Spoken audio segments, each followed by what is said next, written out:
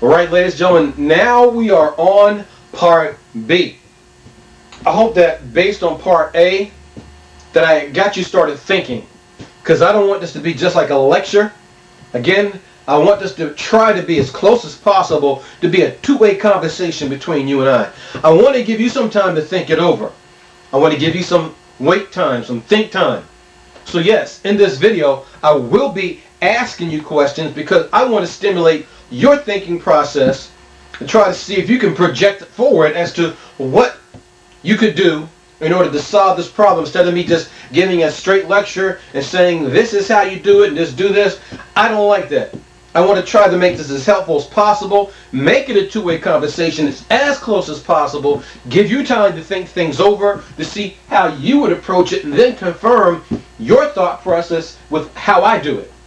So now, taking a close look at this, based on what we did in Part A, how would you go about using that alternative definition to prove this? Think that over for a minute. Ralph, George, John, Raphael, Linda, think that over. Help the student out. I'll be right back. Give you time to think it over. Look at that problem. How would you use the alternative definition of absolute value to establish that this is indeed equal to that? And remember, all these pieces here are building up till we get to a little bit more advanced things of showing and proving the Schwarz inequality. All these properties of absolute value are going to be vital because they're important in calculus, advanced calculus, and every place else that we're going to be proceeding. Think that over.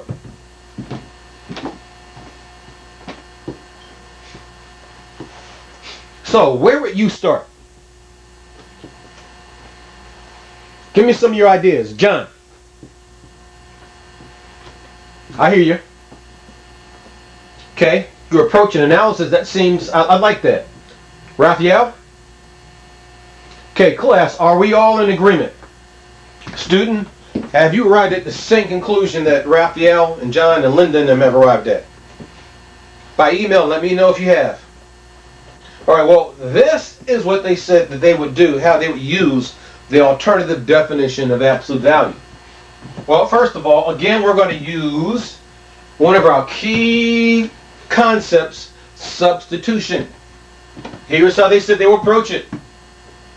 I have the absolute value of x times y. Now remember, that product represents one quantity. Like 2 times 3 ends up giving you 6. So we're discussing one quantity here. Foundational concepts. So now what I'm going to do, I'm going to take that quantity and I'm going to substitute it into that core alternative definition of absolute value. And I'm going to write this as the square root of x times y squared. Now that I did that, what algebraic properties can I apply to that? Because that's all that we're using here. Linda. Ah, I would. I tend to agree with you.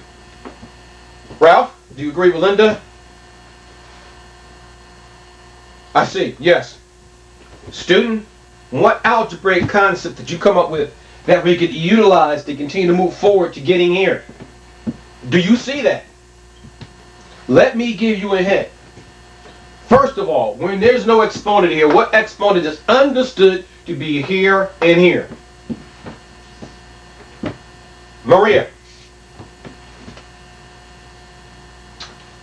Very good. Do, do you agree with what Maria said? She said when there's no exponent here, it is understood to be 1. Correct the mundo.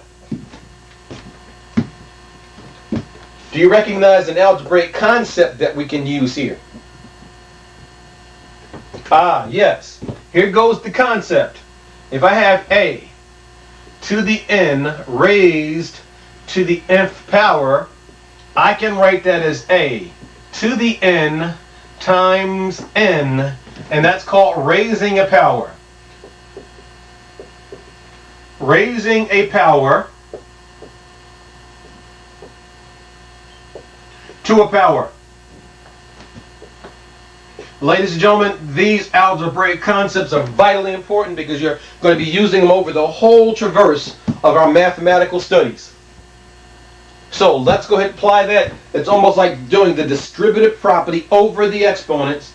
2 times 1 is 2, 2 times 1 is 2. So, so far now, I can write this as the square root of x squared times y squared.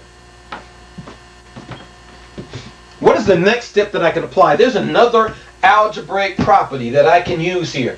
What do you think that is? Uh, Jose? Ah, I agree. Do you agree with Jose's assessment of the algebraic property that I can now apply to this? Did you get that? What was that? I see. Uh, Lauren? Let's see if all of you were correct. Well, they said that they could use this algebraic property. The algebraic property says the nth root of a to the m times b to the m can be written as the nth root of a to the m times the nth root of b to the m. I can separate those radicals, can I not? So, how do I apply this property, algebraic property, to that? Precisely, just separated as it is here. Are we ready? Very good. So now, using that algebraic property, right here, we're going to separate this into the square root of x squared times the square root of y squared. Ah, what do you see? Let's see. John, what do you, what do you see here? Man, I gotta take you out and get you some Nathan's hot dogs. Very good. Does the rest of the class, do you agree with him? All right, Nathan's hot dogs are everybody. Do you see what John saw? Hmm. Think that over for a minute. What are we almost there? Take a look at that problem. Think it over. What what does this mean? Isn't there something attached to that? Yes, there is. Very good. What do you say? I, I, okay, let's see. Are you ready? You sure? Okay, watch. Yes, by definition, we know that we now have the absolute value of x, that is by direct definition, times the absolute value of y. Very, very good. Please do not forget these. All of these pieces we're going to be going through, we're going to be using them in further advanced studies. So again, I'm doing this and stressing this how important it is to understand all of these because you will see this again if you go further into mathematics. Guaranteed. If there are any questions on these free videos on my site, please feel free to email me. Let me know if I did a good job in helping you to think through the analytical processes, the evaluative processes. Did I help to stimulate your brain to see how you would do it to give you some ideas of the path that you need to take. Let me know if I did a good job for you. Please. Once again, thank you for joining me, and I will see you in part C. It is so good to have you here. You are an enthusiastic, positive, uplifting student. Thank you so much. Please make sure that you pause the video, copy the work. If you need to, if you have not gotten that, please copy this right now. Pause your video right now and copy all of this work. Thank you for joining me, and I will see you. At this time, please pause your video, copy this work if you need to do so, and I will see you in part C. Thank you so very much.